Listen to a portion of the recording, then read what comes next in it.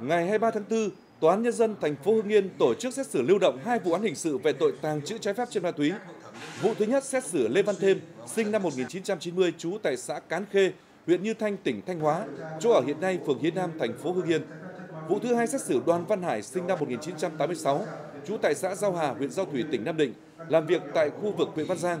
Cả hai bị cáo đều bị lực lượng công an bắt quả tang khi đang tàng trữ trái phép chất ma túy để sử dụng. Sau khi xem xét toàn diện các vụ án, Hội đồng xét xử Tòa án nhân dân thành phố Hưng Yên đã tuyên phạt Lê Văn Thêm 2 năm tù, Đoàn Văn Hải 1 năm 6 tháng tù. Bản án là lời cảnh tỉnh cho những người nghiện ma túy, dù tàng trữ lượng nhỏ ma túy để sử dụng vẫn có thể bị xử lý hình sự và lĩnh án tù.